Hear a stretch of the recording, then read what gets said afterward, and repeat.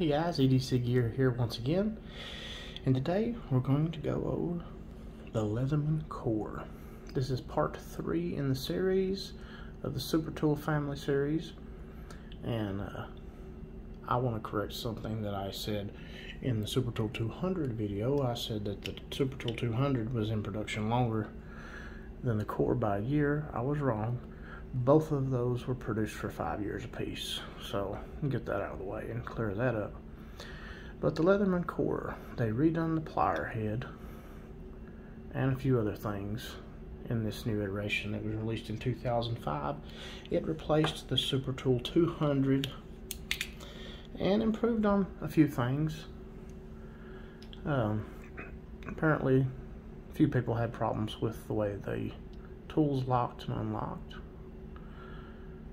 and uh, they decided to change that in the core. And also, besides changing it away from the super tool, as you can see, they turned it into a box-shaped tool by adding Zytel inserts, which is a form of plastic, but it's really, really durable, tough, hard-wearing plastic. And in fact, they uh, the blast, the kick, and the fuse all have Zytel inserts, and they are part of the Zytel family that the core belongs to. I meant to get some of those out, and I may run do that really quick. And we're back. It's like I never even left. the blast, I got a, one of each of those. Now I can show you the Zytel inserts on those. The Zytel was a little bit more invasive than the other three models. As you can see, it went all the length of the handles. Made for a very comfortable grip, and it was blasted a lot, play on words, for having the Zytel in the tools. But the Zytel, I've had these, I've had this tool since 2009. I've been pretty rough on it. It was the first actual tool that I bought. And uh, after inheriting my grandfather's PST, I wanted to replace it so I didn't break it anymore. And I bought the Blast. It, it beat out the Wave in terms of features per cost at the time. And um, I never did have any problems with the Zytel. And getting back to the core, it, uh, you know, I used small pieces, you know, of Zytel and handles. But it made this box shape versus that, you know, I've already showed that versus that. Still allowed for two long tools in each handle. You know, and allowed the pliers to clear everything. Same tool set as uh, previous iterations. They changed the way the tools looked. It's more of a bead blast finish now versus the shiny stainless. Of course, the serrated blade. Uh, changed the way the sheep foot is a little bit on it, but it's still basically the same tool. This is more what tools look like nowadays on Super Tool 300 and rebar.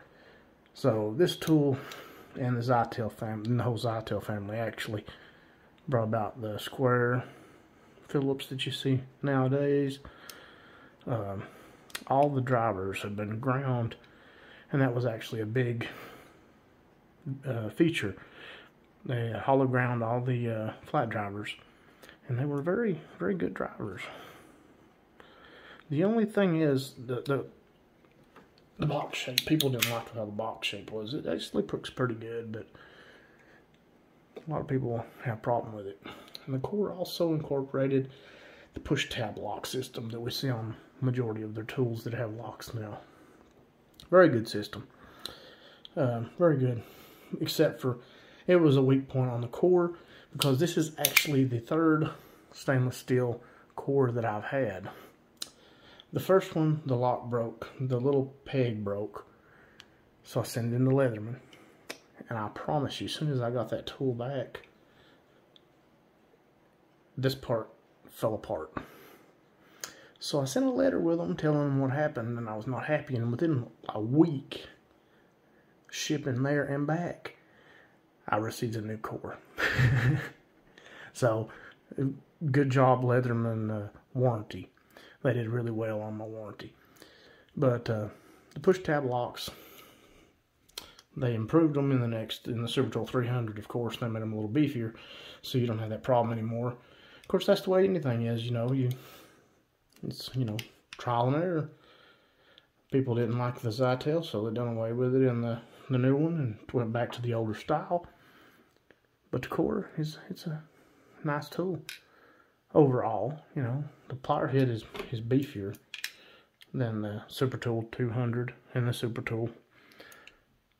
Uh, you, tool's gone. It's just Leatherman now, and that's what the uh, first generation Surge looked like.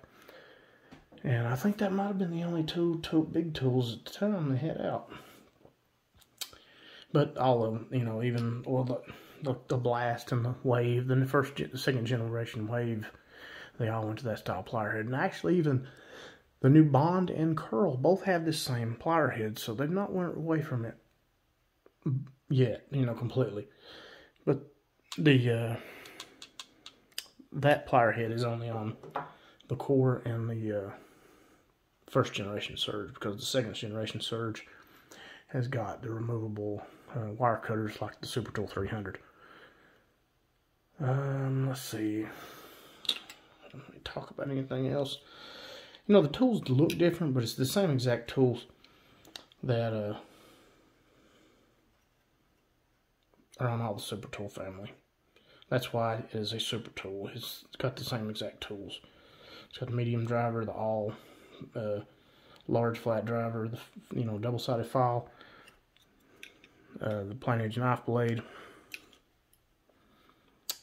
um, serrated blade, can opener of course, and there's the Phillips head. Like I said, the, that's the these generation tools all came out with the square uh, Phillips head, and there's a removable bit driver you can put on these tools and turn them into a bit driver.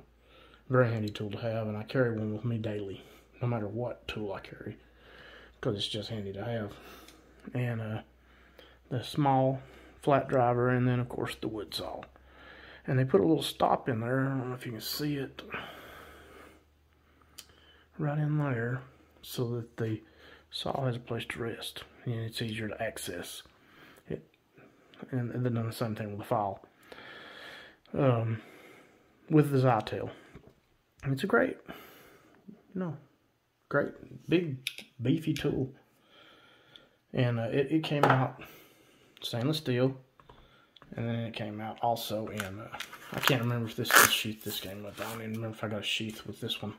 I bought it secondhand, but it's uh, the black oxide.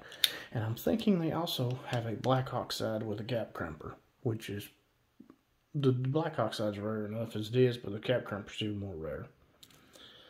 Same tool, yeah, the black oxide and the Zytel go really well together. And uh, I'll show you, even in the blast, it looks better. All the uh, Zytel tools look better in black oxide because the Zytel just blends right in seamlessly with them. Very nice feel, you know, of course, we know how all that went. They're discontinued now because so many people didn't like the idea of plastic. And uh, but the Zytels, it's it's not it's just not it, it's a different type of plastic. It's very well wearing. But anyway, it's over with now. We don't have to worry. They don't put them in the tools no more. But let's see. I believe that may be it. I've rambled on and about the core. I don't have as many cores. I've only got a couple of those, so not as much to, to show. Uh, the sheaths, it came either with, I cannot remember who came in this box is the one that, that stainless steel come in. I believe that was the sheath that it came in, but I'm not 100% sure because it doesn't look like it fit in the box too well. It was either this one or it could have been uh, this one. I don't remember. That one actually may have came with a knife one of the Leatherman knives, but I ended up using it for my Super Tool 300 and wore it out and put a snap on it. Never did wear that out, so it was a good sheath.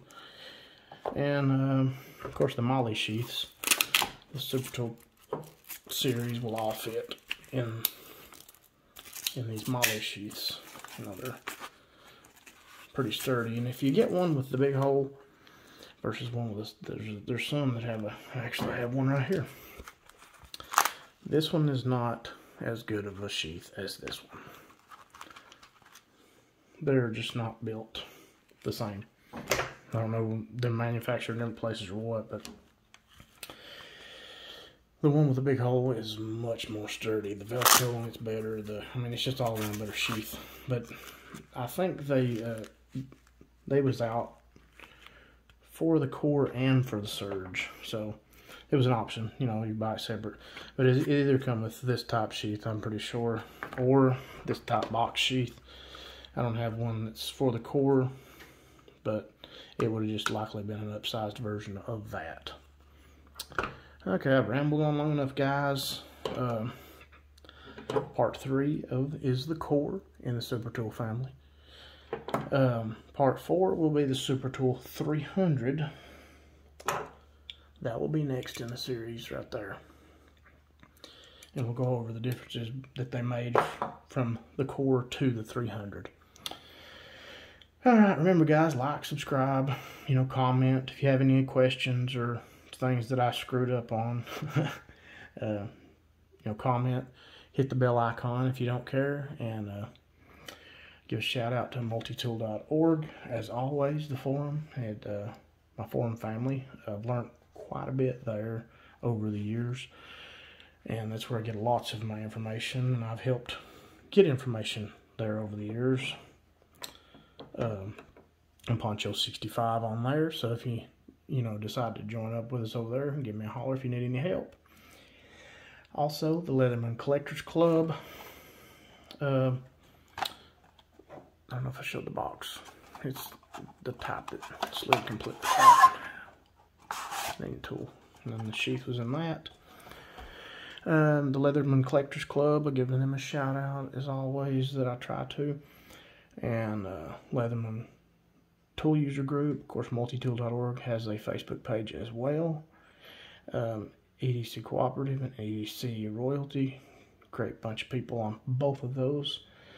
And uh, as always, have a great day and see y'all next time. Bye.